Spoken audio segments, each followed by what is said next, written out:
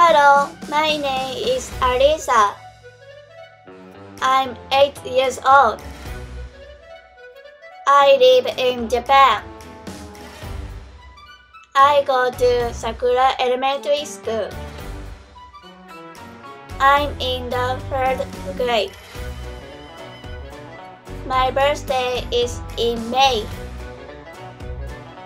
My favorite food is apple.